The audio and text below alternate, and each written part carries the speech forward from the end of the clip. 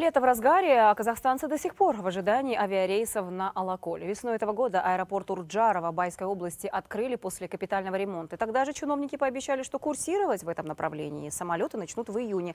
Сроки затем сдвинули на июль, но ВОЗ и ныне там. Ситуацию вызывает а, недовольство у туристов. Дело в том, что добираться до популярного курорта по разбитым дорогам проблематично. В Акимате Урджарского района уверяют, что реконструкция аэропорта полностью завершилась.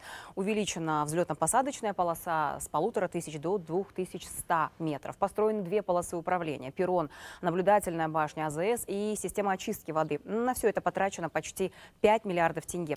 Но единственная причина простая – проверка объекта специалистами Комитета гражданской авиации азаматтық авиация комитетінің мамандарымен төртінші алтыншы шілде аралығында Специалистами Комитета гражданской авиации с 4 по 6 июля была проведена сертификация объекта. Была сделана оценка соответствия с международными стандартами. Внесены предложения. На сегодняшний день ведутся работы по устранению недостатков со стороны подрядчика. Ориентировочно планируется завершить работы 20-27 июля. После повторного вызова специалистов Комитета гражданской авиации и прохождения сертификации авиарейсы будут открыты.